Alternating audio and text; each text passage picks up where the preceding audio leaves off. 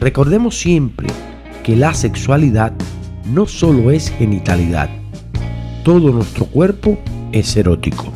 Yo soy Guillermo León, su sex coach